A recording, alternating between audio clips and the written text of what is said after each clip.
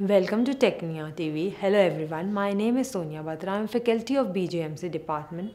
Today I am going to tell you about event management. Now let us discuss what is event management. Event management is the application of project management to the creation, development and execution of event.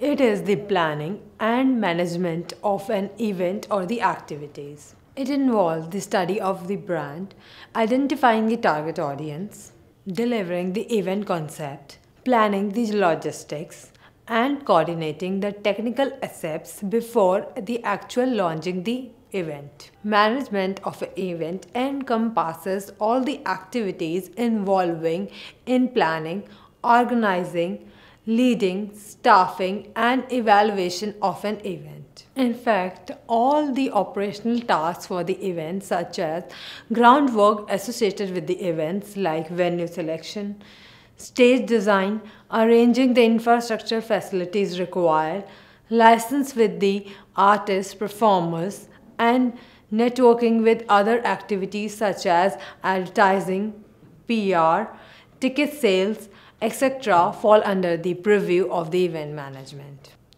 Event management requires strong negotiation skills, creative skills, convincing skills, coordinating skills, planning skills, budgeting, and execution and implementation skills.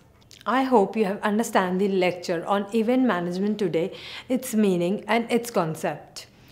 For watching more videos, please like and subscribe Tecnia TV. Thank you.